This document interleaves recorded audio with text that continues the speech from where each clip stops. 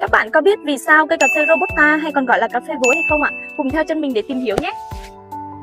Robusta hay còn gọi là cà phê vối, đây là một trong hai loại cà phê được trồng thương mại chủ yếu trên thế giới.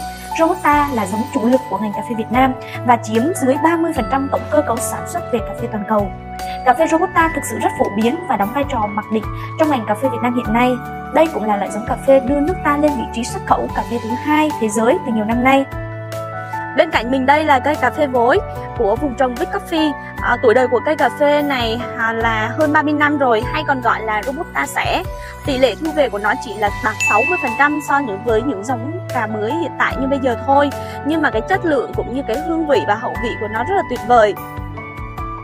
Robusta được gọi là cà phê vối vì nó có hương vị mạnh mẽ, đậm đà và thường có một chút đắng. Loại cà phê này thường có hàm lượng caffeine cao hơn Arabica, tạo ra một hiệu ứng kích thích mạnh mẽ khi uống. Lá của Robusta có hình trái xoan ngược, thóp nhọn ở gốc, có một nhánh nhỏ ở chóp lá giống như lá vối. Ngoài ra, cây cà phê Robusta cũng có khả năng chịu được điều kiện khí hậu khắc nghiệt và chống chịu sâu bệnh tốt hơn. Do đó được trồng rộng rãi ở những vùng nhiệt đới. Hy vọng với những kiến thức trên sẽ giúp các bạn hiểu rõ hơn về tên gọi cà phê vối mà người Việt Nam đặt theo giống cà phê Robusta. Hẹn gặp lại các bạn ở những video tiếp theo nhé!